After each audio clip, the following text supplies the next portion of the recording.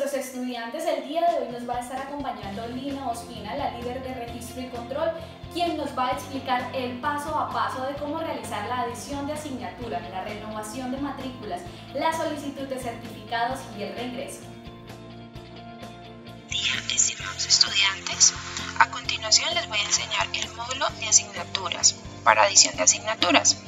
Tenga presente que cada solicitud o la mayoría de las solicitudes están sujetas por la aprobación de su coordinador de programa y también están sujetas a nuestro reglamento estudiantil con artículos específicos. En este caso, para adición de asignaturas, está sujeto al reglamento estudiantil artículo 13, parágrafo 1, 2 y 3. Es muy importante que usted como estudiante diligencie muy bien sus datos personales, tal y como están escritos en su documento de identidad.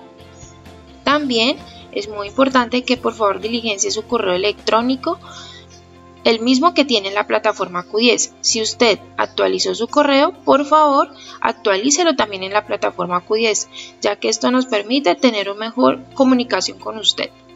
Es importante que por favor también seleccione el programa al cual pertenece. También debe realizar el proceso, indicar el proceso que va a realizar, hacer una pequeña descripción de su solicitud. En este caso, si usted desea adicionar una o más asignaturas, indique la cantidad o el número.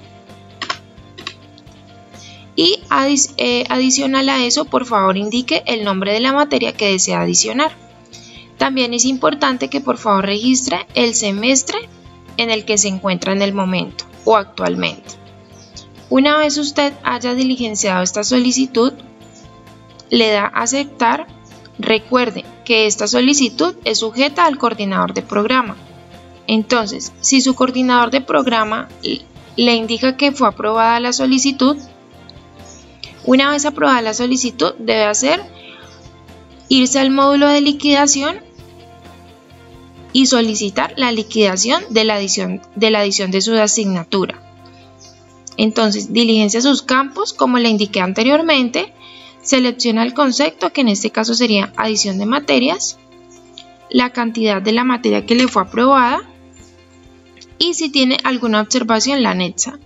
Adicional a eso debe cargar la autorización que le dio su coordinador de programa y le da aceptar.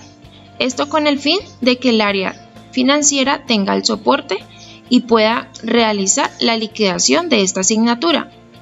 Cuando usted haya cancelado esta asignatura, por favor, diríjase al ítem de trámites académicos. Para usted finalizar su solicitud, por favor, indique el semestre en el cual está cursando actualmente cargue el soporte de la autorización de su coordinador de programa y el recibo del soporte de pago de esa adición de materias. Esto con el fin de que el coordinador tenga trazabilidad de que usted canceló su asignatura y está listo para matricularla. Y también para que registro y control tenga el soporte y pueda habilitarle esa, asignatura en la plataforma. Si usted desea renovar su matrícula, tenga presente que primero debe solicitar la liquidación. Lo mismo es algo muy similar a lo que hicimos en la adición de asignaturas. Entonces, en este caso, busca la opción de renovación de matrícula. La cantidad, pues uno, porque pues es una sola una renovación, deja una observación y la solicita. Una vez la tenga en su correo, y haya usted cancelado, por favor, se remite al módulo de renovación de matrícula. Diligencia los campos personales, carga el paz y salvo y el soporte de pago, que son los únicos requisitos que se van a pedir para nuestro periodo académico 2022, debido a la emergencia nacional. Si usted desea solicitar un certificado, de estudio, contenido temático, de buena conducta, diríjase primero, por favor, y solicite la liquidación del certificado.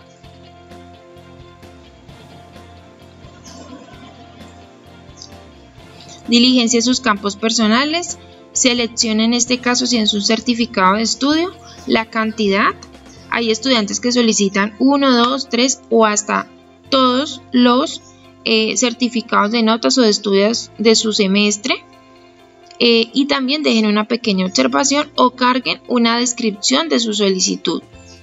Una vez usted haya cancelado, le haya recibido remitida esta liquidación y usted haya cancelado, por favor, diríjase al módulo solicitud de certificado.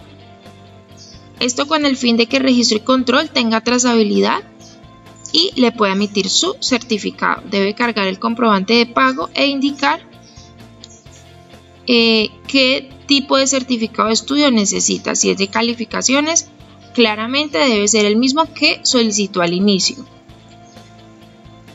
Si usted solicita un, un reintegro a la institución, recuerde que esta también está sujeta a aprobación de su coordinador de programa y a un artículo del reglamento estudiantil, en este caso el artículo 68.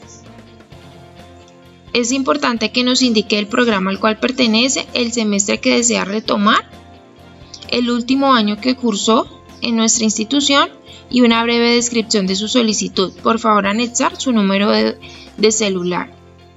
Una vez a usted, su coordinador de programa, le haya aprobado su solicitud, para poder usted cancelar su semestre, dirígase al módulo de liquidación o, concuerde con su, con su coordinador de programa el paso a seguir para su solicitud. Muchísimas gracias.